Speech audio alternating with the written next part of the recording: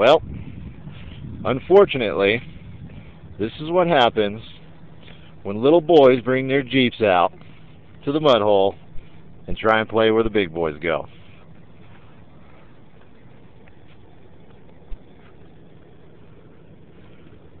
Sucks to be you, pal.